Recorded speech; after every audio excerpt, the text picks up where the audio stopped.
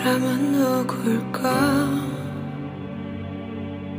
한참 마음을 뒤져 찾았는 난 익은 슬픔과 오랜 그늘 겁이 났던